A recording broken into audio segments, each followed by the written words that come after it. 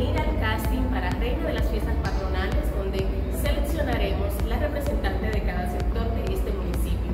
Acompáñanos donde van a aprender etiqueta y protocolo, van a aprender oratoria, lección y cultura general. Así que ven al casting general, donde vamos a seleccionar la representante de cada sector.